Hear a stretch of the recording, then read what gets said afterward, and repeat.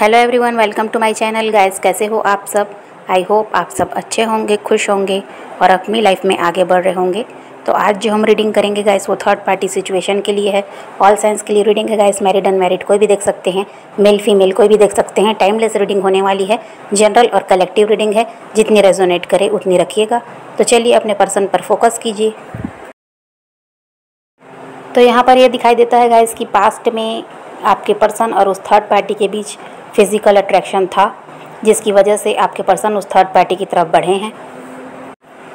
और कुछ के पर्सन के लिए ऐसा भी है कि आपके पर्सन को उस थर्ड पार्टी से कुछ पैसों की मदद मिलने वाली थी, या थर्ड पार्टी बहुत ज़्यादा अबंडेंट है, ऐसा भी हो सकता है तो उसने आपके पर्सन को लालच दिया हो, और आपके पर्सन को ज़रूरत रही हो, इस वजह से आपके पर्सन उसकी तरफ़ बढ़े हैं।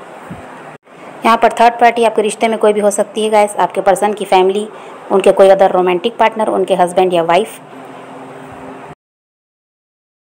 और थर्ड पार्टी ने भी चालाकियाँ की है गाइस कुछ के रिश्ते में, क्योंकि थर्ड पार्टी को पता था कि आपके पर्सन अबंडेंट हैं, जिसकी वजह से उसने चालाकियाँ की है, अपना फ़ायदा देखा है और आपके पर्सन को अपनी तरफ़ कर लिया, अपनी मीठी बातों में आपके पर्सन को फंसाया है ब्लैक मैजिक का भी सहारा लिया है, ऐसा भी यहाँ पर दिखाई देता है।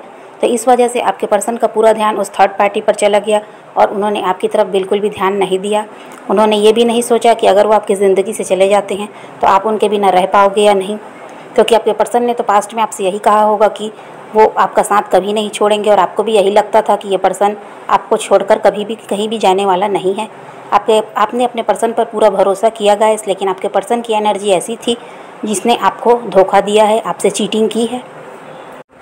आपने अपने पर्सन को अनकंडीशनल लव दिया, सच्चा प्यार आपने उनसे किया था, लेकिन आपके पर्सन ने आपके प्यार की कदर नहीं की।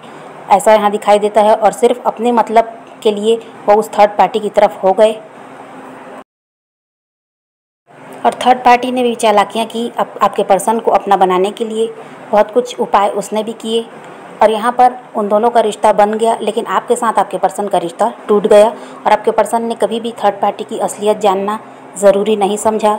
बस वो उनकी बातों में आ गए और उन्हीं की तरफ़ वो हो गए। ऐसी एनर्जी उस समय आपके पर्सन की थी। इमेच्योर एनर्जी में आपके पर्सन यहाँ पर दिखाई दे रहे हैं। पास्ट में उनकी एनर्जी ऐसी ही थी। लेकिन अभी आपके पर्सन की एनर्जी ऐसी है कि वो गिल्ट में दिखाई दे रहे हैं। जिस तरह खुशी खुशी आपके पर्सन थर्ड पार्टी की तरफ़ बढ़े थे, वैसी खुशी तो अभी दिखाई नहीं दे रही। आपके पर्सन वहाँ पर परेशान दिखाई दे रहे हैं। आपके पर्सन को ये लगता है, गाइस, कि थर्ड पार्टी उन्हें धोखा दे रही है, उन्हें चीट कर रही है। और थर्ड पार्टी को भी ऐसा ही लगता है कि आपके पर्सन उन्हें धोखा दे रहे हैं, उन्हें चीट कर रहे हैं। कुछ तो ऐसा है जो आपके पर्सन उनसे छुपा रहे हैं और आपके पर्सन को भी ये लगता है कि थर्ड पार्टी कुछ उनसे छुपा रही है।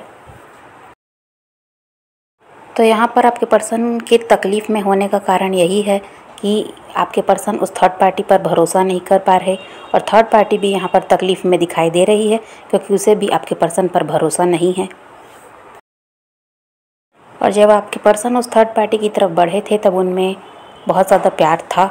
उन दोनों को एक दूसरे के लिए फ़िज़िकल अट्रैक्शन भी था। लेकिन अभी की एनर्जी ऐसी है कि वहाँ पर प्यार दिखाई नहीं दे रहा है। सिर्फ़ लड़ाई झगड़े, धोखा, शक बस यही दिखाई दे रहा है। और लड़ाई झगड़े उनके इसीलिए हो रहे हैं क्योंकि दोनों को ही एक दूसरे पर भरोसा नहीं है। और उन दोनों की एनर्जी अभी ऐसी दिखाई दे रही है कि दोनों ही इस रिश्ते में बैलेंस बनाते बनाते अब थक चुके हैं। दोनों ही अट्रैक्शन तो एक दूसरे के लिए रख रहे हैं, लेकिन वहाँ पर प्यार नहीं है, वहाँ पर ईमानदारी नहीं है और दोनों को ही एक दूसरे पर शक है। इनके रिश्ते में यह दिखाई देता है गैस कि ये रिश्ता ज़्यादा दिनों तक चलने वाला नहीं है, क्योंकि इन्हें एक दूसरे पर भरोसा नहीं है और यही वजह है कि इनका रिश्ता ज़्यादा दिनों तक चलेगा नहीं, ऐसा यहाँ दिखाई देता है। उनकी सोच अभी ऐसी है गाइस कि दोनों ही चाहते हैं कि अपनी ज़िंदगी में अब वो आगे बढ़ जाएँ। इस रिश्ते को छोड़कर अब उन्हें आगे निकल जाना चाहिए, ऐसा दोनों ही सोच रहे हैं।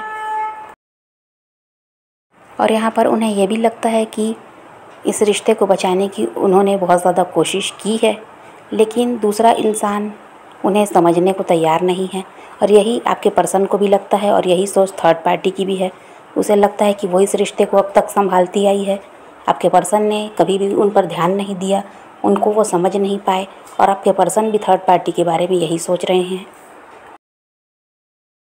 इनके रिश्ते में गाइस खुशियाँ दिखाई नहीं देती, दोनों ही एक दूसरे के साथ खुश नहीं हैं। थर्ड पार्टी और आपके पर्सन का कार्मिक कनेक्शन है, ऐसा यहाँ पर दिखाई देता है और इसी वजह से कुछ समय तक ये रिश्ता अच्छा चला है, लेकिन अब वहाँ पर प्रॉब्लम आई है। आपके पर्सन को कोई लेसन मिलना था, इसी वजह से वो थर्ड पार्टी की तरफ़ बढ़े थे। और थर्ड पार्टी को आपके पर्सन से लेसन मिलना था, इसलिए वो उनकी तरफ़ बढ़ी थी। दोनों साथ इसी वजह से आए हैं, क्योंकि पास्ट लाइफ इनका कर्मा था, जो इन्हें क्लियर करना था एक दूसरे के साथ। कुछ लोगों के रिश्ते में थर्ड पार्टी की ज़िंदगी में कोई और इंसान आ गया है, ऐसा भी हो सकता है।